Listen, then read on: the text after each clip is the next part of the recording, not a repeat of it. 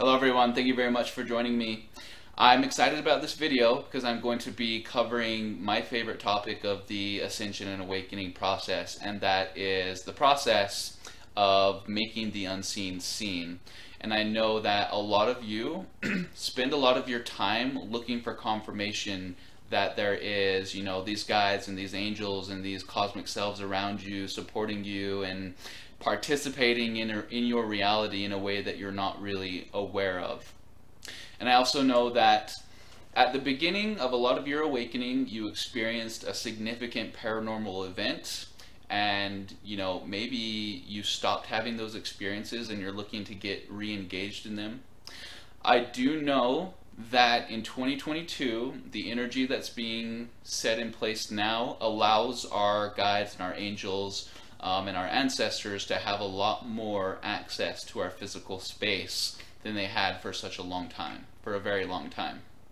And I know that your guides will purposely have you interested in those paranormal experiences because it triggers a lot of things in your awakening that are going to accelerate the remembrance process. So you remember that your physical senses in the earth plane have limitations. You remember that vibrationally you can only experience things at your current vibration. As you make the effort to shine your light on what is unseen, you start to reclaim little bits of yourself. And then when all things are said and done, you are left with a full understanding and appreciation for who you are and what this experience is.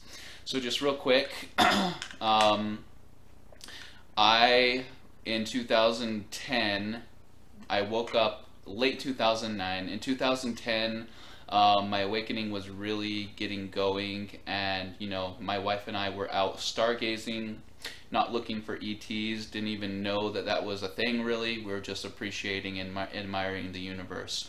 Um, and, you know, after you awaken, it's like you're doing those things for the first time in that moment, we had a light ship approach us, very clearly not from this place, um, you know, and then it took off. Before it took off, it multiplied into four different crafts, and then um, all of them sped away. So that was something that provided a lot of fuel for my journey, and then the pursuit of recreating that experience accelerated my awakening more so than what would have happened otherwise. So I was able to recreate that experience a lot of times. Um, I was able to have a lot of different unique visitations like that um, prior to becoming a Akashic Records practitioner. Something you should know if you do make the effort to go out there and put yourself in a position to have some kind of display or show in the sky like that, um, you need to understand that it's not always extraterrestrials that are doing that. Extraterrestrials are one party who might engage in an activity like that. So your higher self can send you a light ship and you'll visibly visibly be able to see that in the sky. That doesn't mean there's ETs in there running the controls and you know whatever. When you see a light ship in the sky, you might see um, an individual's individual being's Merkaba. You might be seeing a future human. You might be seeing an ancient human. You might be seeing an archangel. There are a lot of sources who are actively engaging in humanity in that way, with humanity in that way. So it's important that you show up without any expectations on who or what or why you're seeing that. Second thing you should know when you are looking for UFOs, when you're looking for light ships, it's important that you don't try to record the experience. Um, so yeah, it would be nice to have like a visible record and confirmation of what you experienced or what you saw.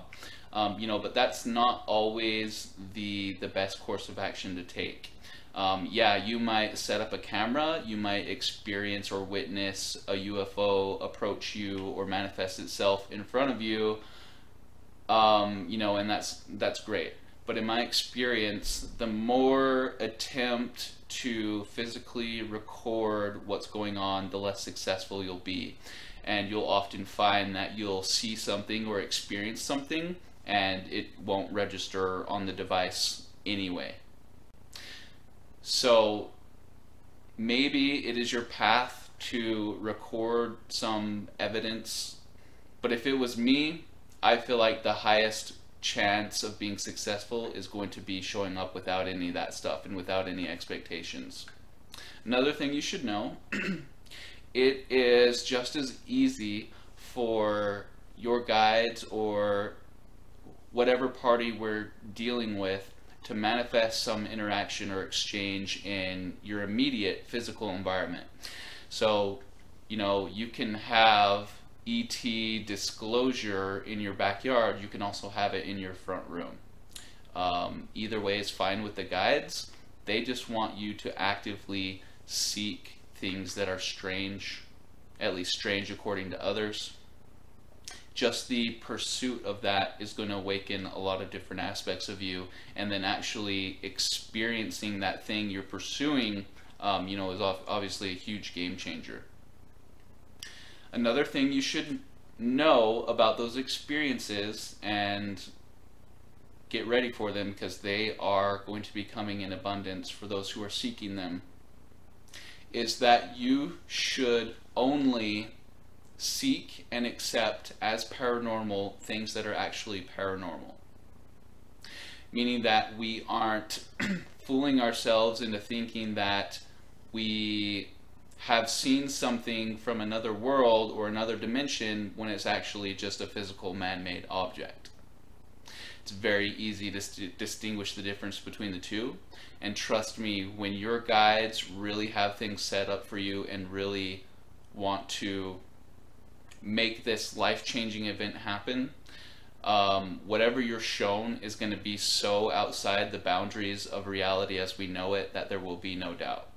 But it does no good for yourself, it does no good for the guides if you see a satellite in the sky and then think that's a UFO. It does no good for you if you see a, uh, an aircraft in the sky and think that's a UFO from another place in time. You have to use your discernment. You have to use your experience and common sense as an old soul. We are looking to experience events that change paradigms at the foundation so that we raise ourselves into a higher vibration and, and never look back. So let's say you go out your backyard, um, or maybe you took a trip into the woods, and you're doing so with the intention of witnessing a UFO or some kind of light show in the sky. You're going to be very excited. You're going to wonder what it's like. Um, you have to try really hard to keep your expectations to a minimum because you don't really know what it's going to be like and how it's going to feel. You should approach that scenario with the curiosity of a child and then that way vibrationally you're automatically going to come into alignment with having that experience. So seeing a ufo is a great indicator of where you are vibrationally you have to understand that our skies are loaded with these craft our immediate environment is just crowded with beings who are here observing and supporting and guiding you, every time you're able to perceive or have a certain level of awareness over who they are, what they're doing, and why they're there, it means that vibrationally you're in a really good spot. So let's say you go out, um, you have the right amount of curiosity, you're really open hearted, and there's no fear involved, you're not trying to witness them to prove something to yourself or someone else. You're not trying to record them. You're not trying to do those any of those ego-based things, but you still don't see a UFO. Well then, you know, frustration should not be a deterrent or failure should not be a deterrent. It should mean that you should look at what you were doing in the state you were in and see if there's any way you can complement or upgrade vibrationally what you were holding at the time. And you have to understand that the universe is always looking for persistence. They're always looking for the souls who have the maturity to attempt something, understanding that it's not the right time, and then show back up in a good space. Be persistent, be disciplined, and understand it's about energy and vibration. It's not about rescuing you or proving anything to you. It's not about documenting something for others to see. It is about a personal experience between you and the family one that changes your paradigm and lifts you into a state of remembrance that will allow all of these kinds of what is considered to be a paranormal event to become very normal. Anyway, thank you very much you guys for watching. Um, this is going to be a video topic that I'm going to come back to a lot. Um, you know, like I said, there's a lot of excitement going on behind the curtain at the possibility of interacting and exchanging energy with us in a direct way. And you should know as excited as you are at the potential of having these experiences, the guides on the other side are, are you know, just as excited or even more so than you. So we have you in separation, raising your vibration, shedding your density, and vibrationally coming into a place where you can start to interact with these um, physical or non-physical beings that are resonating at a different frequency than us. But from their perspective, they are watching, waiting, patiently strategizing, and anticipating a time where they can make themselves known to their loved ones again and have that reunion.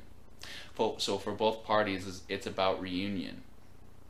And that's what the ascension process is. It's a reunion with the soul. It's a remembrance of the higher self. And it's about embodying those aspects of you in the physical plane. Anyway, thank you very much, you guys. I will see you soon.